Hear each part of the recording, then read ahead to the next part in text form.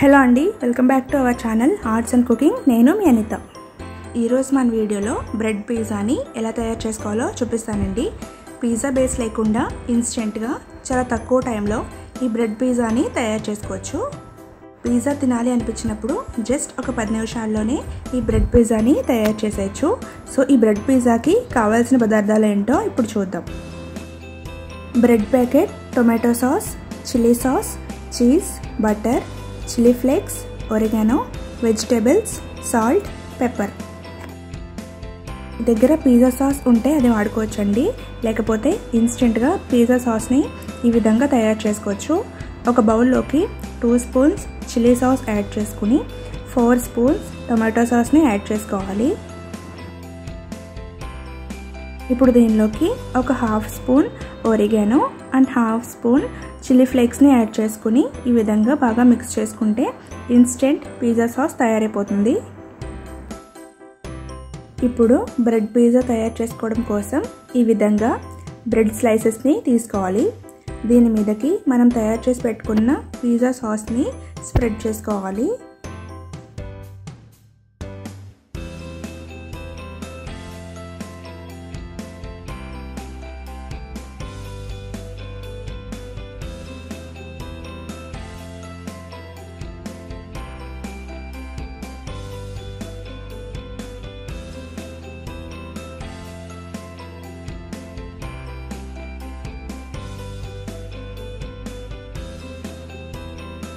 ఇలా సాస్ మొత్తాన్ని స్ప్రెడ్ చేసుకున్న తర్వాత దీనిపైన చీజ్ని యాడ్ చేసుకోవాలి. మీరు నార్మల్ చీజ్ అన్న యాడ్ చేసుకోవచ్చండి. ఇక్కడ నేను మజుల్లా చీజ్ని యాడ్ చేస్తున్నాను. ఈ మజుల్లా చీజ్ మనకి సూపర్ మార్కెట్స్లో దొరుకుతుంది. చీజ్ ఎక్కువ యాడ్ చేసుకుంటే పిజ్జా టేస్ట్ చాలా బాగుంటుంది.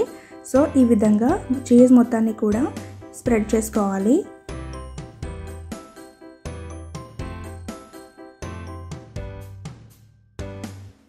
ఇలా చీజ్ని స్ప్రెడ్ చేసుకున్న తర్వాత దీనిపైన వెజిటేబుల్స్ని యాడ్ చేసుకోవాలి. మీకు ఇష్టమైన వెజిటేబుల్స్ని ఇక్కడ యాడ్ చేసుకోవచ్చండి. నేను ఇక్కడ క్యాప్సికమ్ అండ్ ఆనియన్స్ని యాడ్ చేసుకుంటున్నాను. అలాగే మీరు కార్న్ని కూడా యాడ్ చేసుకోవచ్చు.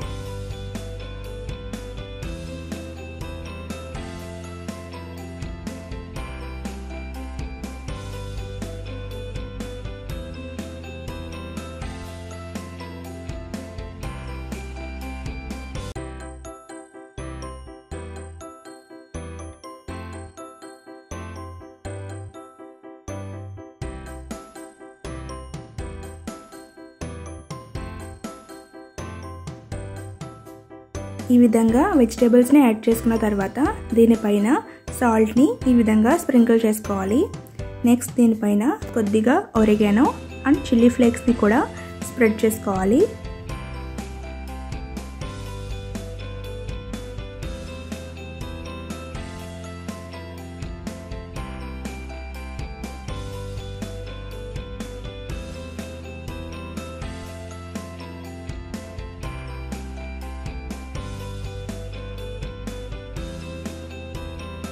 అలాగే దీనిపైన స్పైసీనెస్ కోసం కొద్దిగా పెప్పర్ పౌడర్ని యాడ్ చేసుకోవాలి. ఇలా అన్నీ యాడ్ చేసిన తర్వాత దీనిపైన మరి కాస్త చీజ్ని యాడ్ చేసుకోవాలి. ఇది ఆప్షనల్ అండి. మీకు చీజ్ ఇష్టమైతే యాడ్ చేసుకోండి.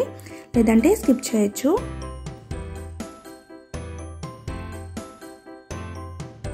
ఇప్పుడు ఈ బ్రెడ్ని మనం బేక్ చేసుకోవాలి.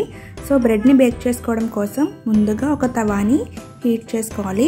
హీట్ అయిన తర్వాత ఇలా బటర్ని స్ప్రెడ్ చేసి మనం తయారు చేసుకున్న బ్రెడ్ స్లైస్ని దీని మీద ప్లేస్ చేయాలి.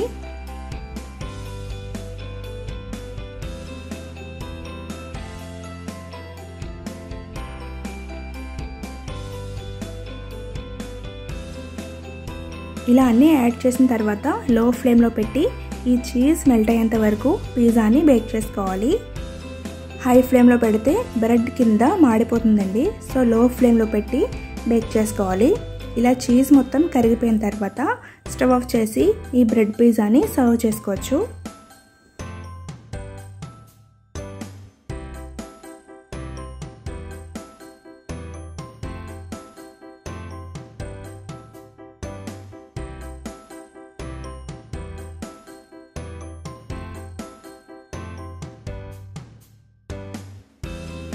సో పిజ్జా తినాలి అనిపిస్తే ఎక్కువ శ్రమ లేకుండా ఇలా బ్రెడ్ పిజ్జాని తయారు చేసుకోండి.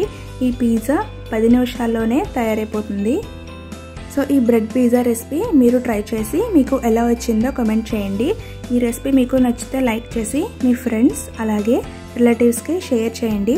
మరిన్ని టేస్టీ అండ్ సింపుల్ రెసిపీస్ కోసం మన ఛానల్ని సబ్స్క్రైబ్ చేసుకుని పక్కనున్న బెల్ ఐకన్ కూడా ప్రెస్ చేయండి. Thank you for watching.